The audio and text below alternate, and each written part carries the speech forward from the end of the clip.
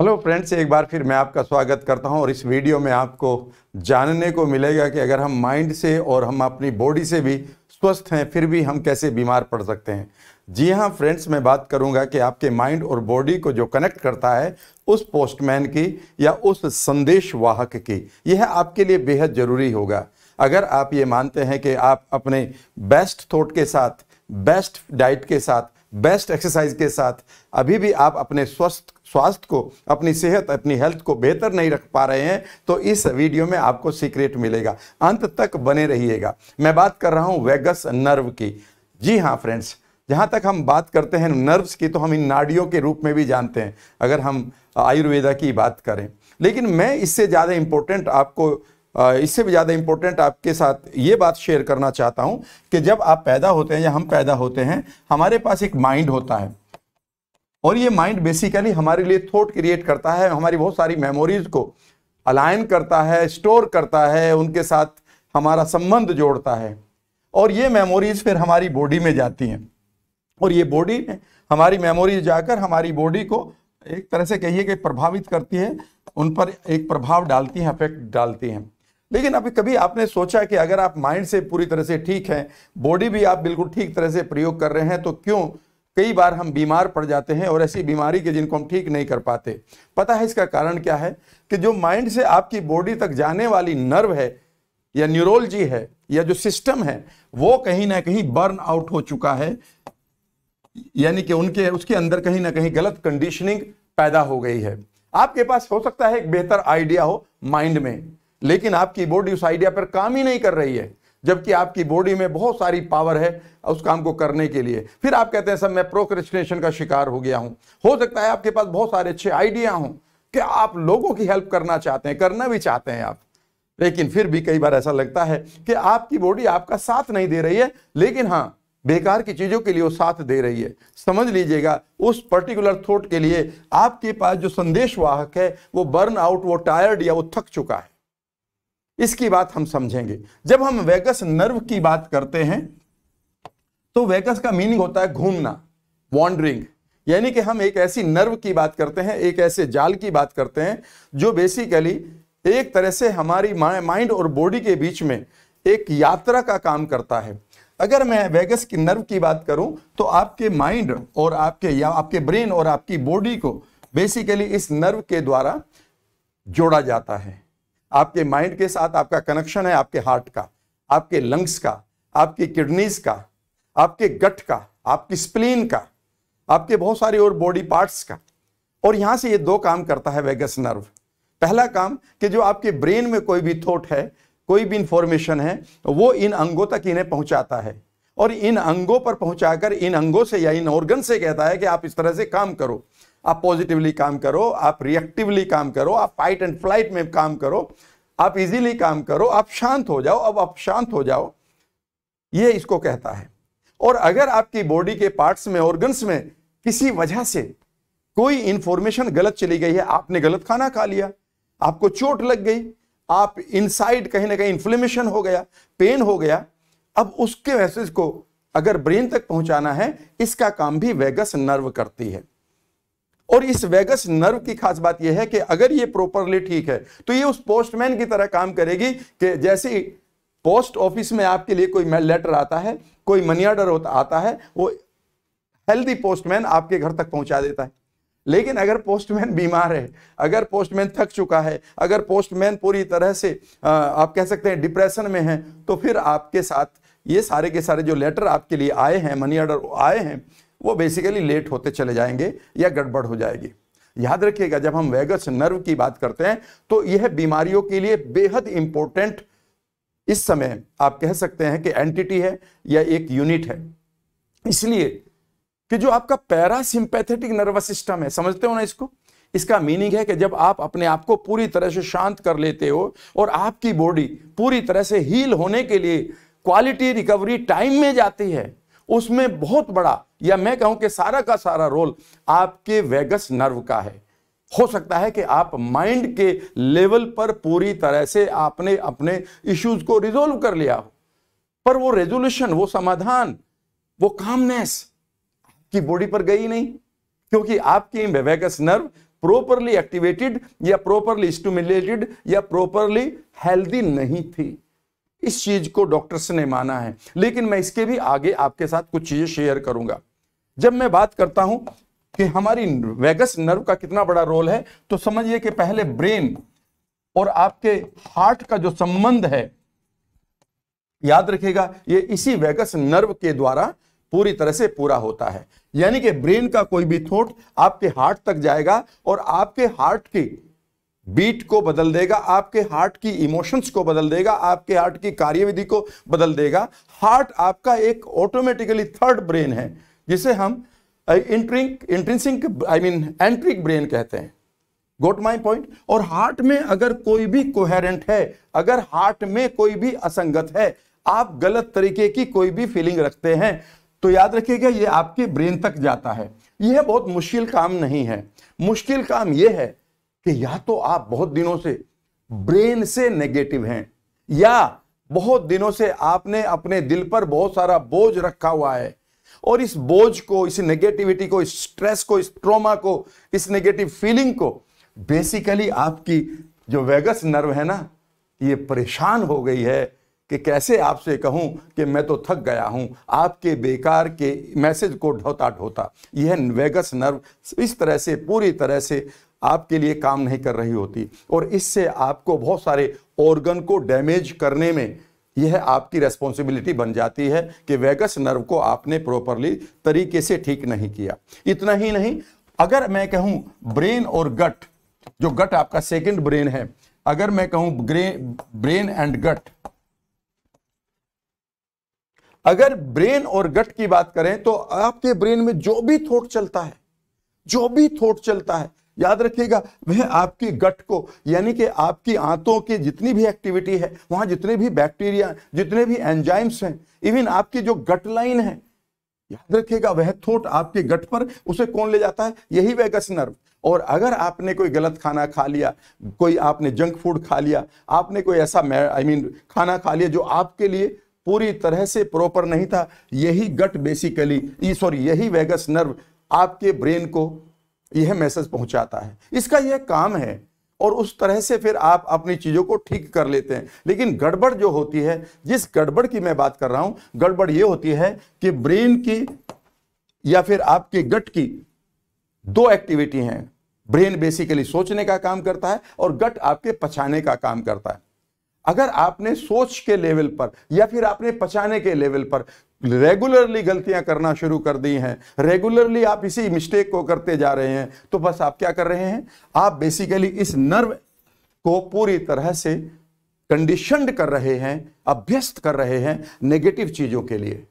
और ऐसे में एक दिन ऐसा आएगा कि आपका ब्रेन भी खुश है, आपने खाना भी अच्छा खाया, पर क्या करें? आपने पोस्टमैन के तो हाथ पैर तोड़ रखे हैं। वो कैसे आप तक अपनी चिट्ठी पहुँचाए आपकी? और फिर आप कहते हैं कि मेरे साथ पता नहीं क्या हुआ।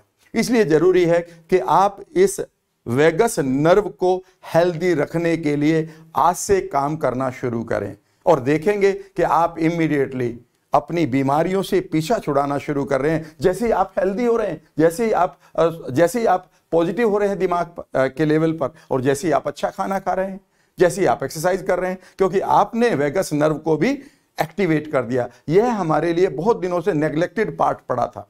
अब सवाल उठता है कि इसे कैसे एक्टिवेट करें? बस यहीं से मैं आपके साथ इन चीज़ों को बता रहा हूँ कि कैसे आप अपने घर में बैठे हुए इसी मोमेंट से इसे हेल्दी कर सकते हैं। बहुत जल्दी। वरना याद रखिएगा कि आपके थोट के लिए जो दरिया है, आपके थोट के लिए जो कम्युनिकेशन चैनल है, आपके करंट के लिए जो केबल है, वो पूरी तरह से बर्बाद है। आप कितना भी आप पॉजिटिव सोचेंगे, बात नहीं बनेगी। तो चलिए सीखते हैं कि कैसे हम इसको प्रॉपरली हेल्दी करें और इसकी टोन को, इसकी हेल्थ को बेहतर करें। लेकिन इससे पहले आपके लिए एक मैसेज है। मैसेज ये है कि मेरे पास आपके लिए तीन खूबसूरत वर्कशॉप्स हैं। एक, आपके माइंड को हील करने के लिए सबकॉन्शियस को हील योर सबकॉन्शियस माइंड उसका लिंक मैं नीचे दे रहा हूँ। आप पूरे परिवार के साथ मेरी इस वर्कशॉप को एंजॉय करिए। फ्री ऑफ़ कॉस्ट है, दो घंटे की। खूबसूरत टेक्निक है। दूसरी वर्कशॉप है कि कैसे अपने जीवन में चमत्कारों को आकर्षित करें। लॉ ऑफ़ अट्रैक्शन के उस सिद्धांत को समझें जो अब तक आपके साथ नहीं हुआ है। वो अनुभव मेरे साथ लें। टेलीपैथी टेलीकैनिसिस चीज़ जैसी चीज़ों के बारे में लर्न करें। उसका भी लिंक मैं नीचे दे रहा हूँ। वह भी दो घंटे की वर्कशॉप है। फ्री है आपके लिए। और तीसरी है मेरी क्वांटम हीलिंग रिट्रीट यानी कि खूबसूरत अपनी हेल्थ को कैसे बेहतर तरीके से जिए क्वांटम लेवल पर जाकर, सूक्ष्म लेवल पर जाकर, उसकी टेक्निक को मैं साझा करूँगा आपके साथ। ये तीनों के तीनों वर्कशॉप के लिंक आपके लिए अवेलेबल हैं। ये फ्री ऑफ़ कॉस्ट है और एक बुक भी है awaken the god of miracles अपने आई मीन जागृत करें चमत्कारी शक्तियों को हिंदी इंग्लिश और गुजराती में। तो चलिए फ्रेंड्स सीखते हैं कैसे वेगस नर्व को आप घर बैठे आराम से, इसी मोमेंट से एक्टिवेट या पॉजिटिव या हेल्दी बना सकते हैं। पहली चीज़, आपको क्या करना होगा? आपको रेगुलरली या जब भी आपको समय मिले या regular level I mean time interval पर आप हमेशा कोल्ड शावर लें। और कोल्ड शावर की बात भी नहीं कह रहा हूँ, मैं कोल्ड डिप की बात कर रहा हूँ। मैं कई बार सोचता था कि लोग कहते हैं कि भाई, गंगा जी में डुबकी लगाओ तो सभी पाप कट जाते हैं। टेक्निकली मैंने जब इसको पढ़ा तो बिल्कुल यही लिखा था कि आप किसी भी ऐसी नदी में नहाए, जिल के जो पूरी तरह से ठंडी हो जो ग्लेशियर से आ रही हो, और उसमें आप कम से कम पाँच बार डिप लगाएँ और एक डिप 20 सेकंड तक आप कोशिश करें कि आप पानी के अंदर रहें, उस ठंडे पानी के अंदर, और डुबकी सर तक लगाएँ। जब आप सर तक डुबकी लगाएँगे तो आपकी वेगस नर्व एक्टिवेट होगी। आपके पाप ही नहीं कटेंगे। याद रखिएगा, आपके पास पुण्य आने शुरू हो जाएँगे सेहत के। है ना, कमाल की बात? जब भी आपको मौका मिले, जहाँ भी मौका मिले कोल्ड आप आई मीन स्नान करना शुरू करें।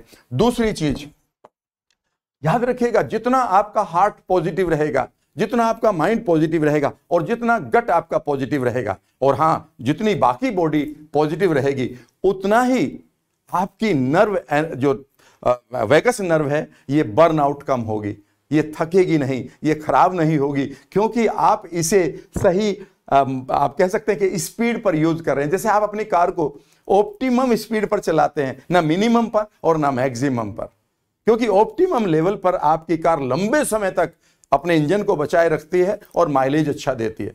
इसके लिए ज़रूरी है कि आप प्लेफुल जोन में रहें। आप हार्ट पर कोई वज़न ना रखें, बोझ ना रखें और अगर आपके हार्ट पर कोई बोझ है, कोई इमोशन है तो उसे कैसे हटाएँ, वह मैं अपनी वर्कशॉप में बता रहा हूँ हील योर सबकॉन्शियस माइंड में। अगर आपके माइंड में भी कोई ऊट पटांग थोट है, उस थोट को कैसे आप ठीक करेंगे, वह भी मैं आपके साथ शेयर करूँगा इन्हीं वर्कशॉप्स में।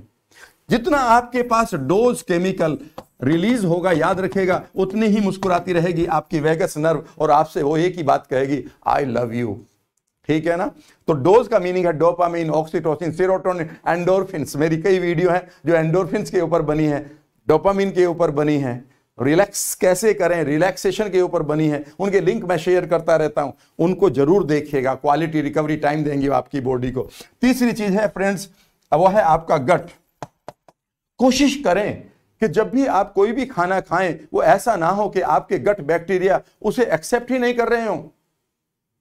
कहीं ऐसा तो नहीं है कि आप स्वाद के चक्कर में बहुत सारी बेकार की शुगर प्रोसेस्ड शुगर या रिफाइंड शुगर खा रहे हैं। ऐसा तो नहीं है कि बेकार के आप आ, कह सकते हैं कि जिनको आप उठ पटांग मसाले कहते हैं स्पाइस कहते हैं, वो आपके टेस्ट को तो बनाता है, लेकिन याद रखिएगा, वो आपके गट बैक्टीरिया के लिए बहुत ही खतरनाक चीज़ है, और गट बैक्टीरिया की जितनी भी एक्टिविटी है, वो डायरेक्टली आपके माइंड से जुड़ी है वेगस नर्व के द्वारा। ये वेगस नर्व याद रखेगा इस मैसेज के द्वारा निगेटिवली कंडीशन होती रहेगी, अगर ये आपकी आदत है तो। इस आदत को बदलें, आप अपने गट को time to time time to time time to time relax करना सीखें। इंटरमीडियंट फास्टिंग के द्वारा आप अपने गट को भी बढ़िया करेंगे और गट से जो मैसेज आपके ब्रेन को पहुँच रहा होगा, वो बेहद खूबसूरत पहुँच रहा होगा। याद रखिएगा इंटरमीडियंट फास्टिंग आपके लिए एक बेहद बढ़िया तरीका है। वेगस नर्व को शांत करने के लिए और उसको पूरी तरह से रिलैक्स करने के लिए।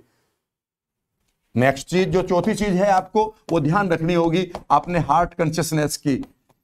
हार्ट कॉन्शियसनेस आप कैसा है आप कभी ऐसा ना हो कि आप हार्ट के लेवल पर कभी नंब हो जाएँ। याद रखिएगा, आपके हार्ट में वही ब्रेन सेल्स हैं, जो आपकी ब्रेन सेल्स आपके ब्रेन में हैं। वही न्यूरॉन्स हैं। हार्ट का अपना एक खूबसूरत सिस्टम है। जिसके, जिसमें उसका अपना ब्रेन है, उसमें आपका नेटवर्क है, उसमें अपना उसका आई मीन कह सकते हैं कि सोचने का तरीका है। जितना आप अपने हार्ट को फ्री रखेंगे बेकार की इमोशंस के द्वारा, जितना उनसे फ्री रहेंगे, दूर रहेंगे बेकार की इमोशन से, याद रखेगा, वह आपके हार्ट को तो लंबी उम्र देगा ही देगा, आपकी heart rate variability H R V को भी बढ़िया करेगा और साथ में आपकी वेगस नर्व को भी एक नई शांति और सुरक्षा देगा। ज़रूरी है कि आप खूबसूरत इमोशन में रहें। फॉर एग्ज़ाम्पल आप एम्पावरमेंट में रहें, आप ऑप्टिमिज्म में रहें, आप जॉय में रहें, आप हैप्पीनेस में रहें। चीज़ों को आप इस तरह से फ्रेम करें रिफ्रेम करें कि आपका हार्ट कम से कम कम से कम बोझिल फीलिंग्स को एक्सपीरियंस करे। और जितना वो खुलकर हंसेगा आपका हार्ट उतना ही आपकी वेगस नर्व स्ट्रांग रहेगी। पांचवी चीज़, याद रखिएगा, आप अपने जो टेंशन में टेंशन को रिलीज़ करें। ऐसा ना हो कि आपके जबड़े में कोई टेंशन हो किसी तरह की। याद रखिएगा। और इससे भी बढ़िया बात है कि जो टेंशन के साथ आप जो की थोड़ी सी टेक्निक सीख लें उसको पूरी तरह से मूव करना सीखें। और उससे भी इंपॉर्टेंट है कि आप नेक मूवमेंट का आई मीन नेक को मूव करना सीखें। और जिस तरह से जैसे आप योगा में आई I मीन mean, जाते हैं और आप अपनी गर्दन को पूरी तरह से ऐसे घुमाते हैं लेफ़्ट टू राइट या right to left ten times left to right यानी कि क्लोकवाइज घुमा दें और टेन टाइम्स एंटी क्लॉकवाइज घुमा दें। पूरी तरह से रिलैक्स करते हुए, थोड़ी सी ताकत लगाते हुए याद रखिएगा, आपके नर्व वेगस नर्व में कहीं अगर ब्लॉकेज है, वो खुलना शुरू हो जाएगी। आप अपने, छठी चीज़ है, आप अपने हैंड और फीट को ट्रीट करें। यहाँ इसका मतलब मेरा सिंपली यह है कि हमारी नर्व एंडिंग आती है हमारी जो आई मीन हथेलियाँ हैं, उंगलियाँ हैं, हमारे टोज हैं। इसलिए ज़रूरी है कि आप हथेलियाँ पीटने की जो हमारी रिचुअल है, कई बार हम कीर्तन के द्वारा या हँसते हैं, ताली बजाकर, यह हमारी नर्व एनर्जी को एक नए लेवल पर ले जाती है और हमारी वेगस नर्व इससे बहुत प्रभावित होती है। बैठकर कई बार आप अपने टोज को घुमाना शुरू करें अपने पंजों को, अपनी पंजों की आई मीन अपनी उंगलियों को, अंगूठे को, पैरों के, उनको भी आगे पीछे आगे पीछे आगे पीछे जितना ज़्यादा आप मूव करेंगे, उतना ही आपकी वेगस नर्व पर इसका फ़र्क पड़ेगा। और इसके बाद दो चीज़ बड़ी इंपॉर्टेंट है, जो मैं आपके साथ शेयर करूँगा। आप समझ नहीं सकते कि कितनी इंपॉर्टेंट है। कंधे सीधे करके बैठिएगा, और वो नेक्स्ट वन है हमारी, और वो है आपकी हमिंग याद रखिएगा, जब भी आप हमिंग एक्सरसाइज करते हैं, वो इमीडिएटली आपकी वेगस नर्व को एक नई एनर्जी नई ऊर्जा, नई वाइब्रेशन देती है। और उसके लिए एक प्राणायाम है, जिसे आप भ्रामरी के नाम से जानते हैं। भ्रामरी को आप कैसे करते हैं? बड़ा सिंपल है। आप बैठ जाते हैं सुखासन में और आप अपने स्पाइन को सीधा करते हैं। स्पाइन को सीधा करने के बाद आप क्या करते हैं? आप अपनी आँखों को दो उंगलियों से बंद करते हैं, थोड़ा सा अपने मुँह को बंद करते हैं, नीचे की दो उंगलियों से, और कानों से आप अपने आई मीन आई मीन कानों को आप अपने अंगूठे से बंद करते हैं। और फिर आप क्या करते हैं? हमिंग करना शुरू कर देते हैं। फॉर एग्ज़ाम्पल अगर मैं इस समय आपको करके दिखाऊँ तो कुछ इस तरह से कर रहा हूँ आपके लिए मैं बोल भी रहूँगा फॉर एग्ज़ाम्पल मैंने सांस को भरा, सांस को मैं अपनी बैली में भरूँगा, और फिर जब मैं उसको सांस को रिलीज़ करूँगा तो एक हमिंग के साथ करूँगा लाइक like दिस मैं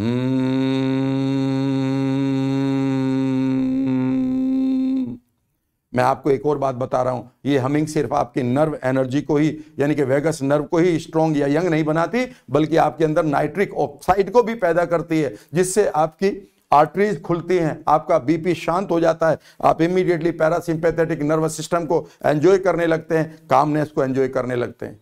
और अगर आप पूरी बॉडी की वेगस नर्व को एक बार में ही बढ़िया तरीके से और स्ट्रॉन्ग पॉजिटिव और हेल्दी बनाना चाहते हैं तो याद रखिएगा, आपको एक काम और करना होगा, उसे आप YouTube पर डाल दीजिएगा, या आप इसके बारे में जानते भी हैं, उसकी पिक्चर्स भी हैं, और वीडियोस भी हैं, और वह है आपका सूर्य नमस्कार।